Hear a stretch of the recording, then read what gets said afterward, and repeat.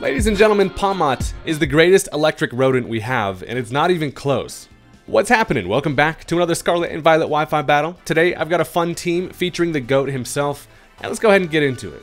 So I found this match through my Discord server. If you're looking for a place to find matches, go ahead and join. The link is in the description. It's mostly where I find all my battles these days, and it's a pretty cool spot. So I've got myself an orange peel elephant, and they decided to lead off with the Bronzong. So of course, I'm going to toss my stealth rocks out there, and it turns out, this is no ordinary Bronzong. He's actually going to end up going for the Trick Room on turn 1, and now shit gets weird. Everything that's slow is fast, and fast is slow, and the dimensions are all crazy. Not a, not a strategy you see often in singles, but I'm a big fan. So, I now decided to just go right for the knockoff here. I know I can get some pretty big damage, as they decided to set up Stealth Rock of their own, and I'm fine with that, because obviously I spin, and it doesn't it doesn't look like they have a ghost type to switch into to block a spin. So I pretty much just decide, hey, I don't like these over here, I'm gonna spin them back over to your side. So he actually ends up going for the Earthquake. Now the reason for that, I suspect, is probably because they want to break my Sturdy ability um, to be able to uh, knock Donphan out in one hit if possible. So I do get that rapid spin, and now as I'm looking at this floating fella, I think even without an item, a knockoff should actually probably kill here. My team doesn't have a whole lot to take care of Bronzong regardless, and it seems like this thing just wants to stay in here and do pretty much nothing. He decides to go for the Stealth Rock once again, and uh, he, he says, you're keeping these on this side, even though I can just rapid spin later. But I do go for another knockoff, does take care of the Bronzong, and the good news is there's only actually one more turn left of the Trick Room being up, so all the lollygagging is going to help out, as Donphan just chilling by himself, eating a little bit of leftovers, having a nice little picnic. Unfortunately does not bring me up to full, so that sturdy ability is not going to be in play, and now they decide to bring in the Sudowoodo. So listen, this fake-ass rock tree is actually kind of scary. It's faster than me because the Trick Room. I don't have much that wants to switch into it. If he decides to predict the switch into Muk and go for Earthquake, I have a bad time. It turns out I just get nice and hammered, and down goes the Donphan before I was able to get up a rapid spin, so that Stealth Rock is going to stay on my side of the field. So it looks like the Twisted Dimensions did end up working out for him. It's kind of cool to see a fast Sudowoodo. So at least now I get a free switch into whatever I want, and I decide to go into Greninja. Tongue is flopping, the sun's shining, and we're ready to make some stuff happen. Now this is actually a it's a Greninja set that's supposed to take advantage of the Torrent ability. If I can go for an Endure, I can pop a berry, boost my special attack, also put me in range to where Surf pretty much kills everything. But, of course, I decide to just go right for the safe play on the Sudowoodo and go for the Surf. As it turns out, they bring in Jumpluff. The bane of my existence. This fluffy floating bastard is the worst thing ever, and something's gonna get put to sleep. So I decide the least useful Pokemon for me at this point is probably going to be Muk. So I decided to just bring in Muk to soak up the old sleep powder. And Jumpluff is kind of a weird fella. You never really know exactly what this thing is going to do.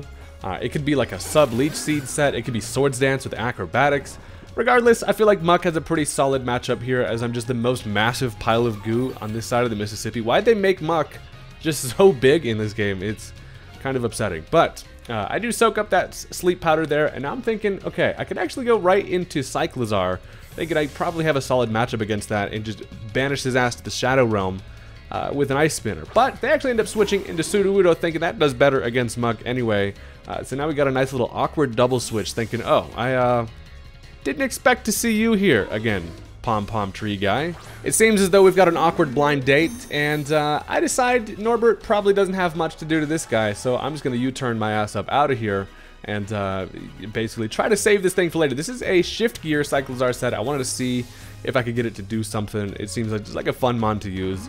Uh, they actually end up switching out, to my surprise, going into the Bisharp, which is pretty nice because going for the pivot on my end does give me a nice little bit of momentum, plus a solid bit of chip, you know, just in case. And what that does do is now opens the door for the absolute legend.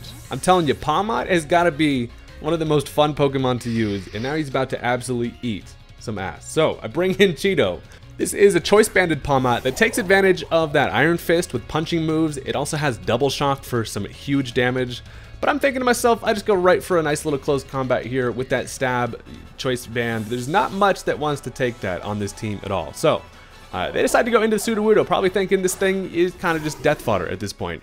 He got himself a nice kill, but now it's time for a solid little rest here. So I go for that close combat. Sudowoodo bulky, but not bulky enough nearly to live that, and down goes the rocky little fella. So that opens the door for them to bring in whatever they want. I do take a defense drop on both sides, and they decide to bring in Ursaring. Now you're thinking to yourself, this is a normal type, and I could just absolutely close combat this shit into the Shadow Realm as well.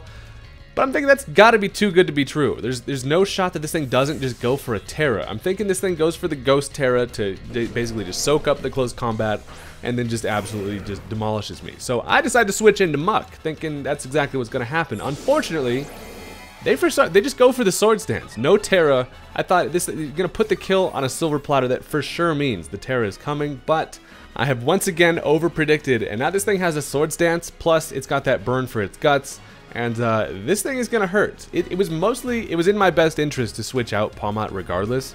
Uh, because I do know that the, the Mach Punch late game is looking really good with that choice band. So I'm fine with that. The Facade does take care of Muk, who unfortunately came in, got put to sleep, and they just got absolutely rocked by a facade. So not the best day if you're if you're my Muk, but you know he he'll come back. It's fine. So I'm thinking the only thing I can really do is go back into Cheeto. I, if he didn't Tera before, there's no way this thing has the Ghost Tera in the back. Plus, I can now change my moves to go right for that Mach Punch. Um, and that is definitely going to take care of Ursaring. I hit him right in the target, right in the middle of the, the circle, I guess the, the ring, of course. And down goes the Ursaring. I really thought that that thing had some type of Tera under its sleeve, but it didn't, so I'm fine with that. And now in comes the Pluff Daddy. Now this thing does resist the Mach Punch. You know what it does not resist, however? This absolute power. It's definitely just to end up knocking that thing out anyway. Thank you to the Stealth Rock damage. And Cheeto is working himself up a nice little kill streak here. So, in comes the Quavel. Now this thing comes in dancing, wings flapping, and I don't think I can knock it out with a Mach Punch. So what I do is end up switching into Norbert here. I do want to save the Pawmot because I'm feeling like I can finish off the match with this thing because the absolute beastliness of our little electric fella. And Norbert is going to come in on this thing going for a swords dance. And that is pretty damn scary. But I do have a trick up my sleeve with this Cyclizar thinking maybe I can get it to work. We're just going to have to wait and see. So that thing gets a nice little plus two. And honestly, a very scary Pokemon. It's, uh, its toes kind of gross me out, but it's definitely a threatening fella. So I decided to go for the Tera. I'm thinking there's like a 50% shot that this thing goes for a close combat to try to knock me out, and I am going to be Ghost, and it's going to go right through me. I also know that I'm faster, and I can get some solid chip on this thing, uh, and then maybe see if Pawmot can finish it off. So I do go for that Tera. I put a little Ghost on my head thinking you cannot touch this. But also, you know, please go for a fighting move because I know you have other options and shit. So I do get the ghost on my head and I do outspeed this thing with a nice little Dragon Claw. That is going to be some solid chip.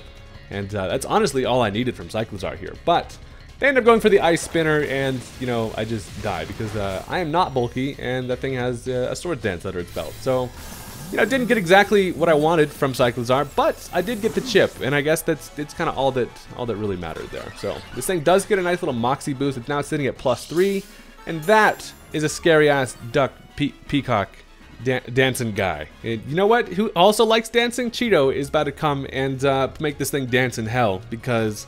This match is honestly a good showcase of the power of like a choice banded priority stab move. Uh, with Iron Fist stack on this thing, it's truly you, you can't do much unless you have some type of answer for it. So I go for that Mach Punch. Uh, and of course, that is gonna that's gonna kill uh, the Quick Wave. So that is amazing. Pawmot is absolutely rampaging, and now his last Pokemon is gonna be the Bisharp, who you know of course is absolutely allergic to these fists, and uh, that's gonna end up knocking that thing out. So Pawmot was able to kill five of the six Pokemon on this team, and I just thought you know, that was a hell of a showcase for the power that is Pawmot. Thank you very much for watching, ladies and gentlemen. I appreciate all the support. I do apologize that I have not been able to upload that much lately. I've been really busy with work and life, and it's it's hard, but I'm still out here playing Mons, and I always will be. Thank you very much. See you later.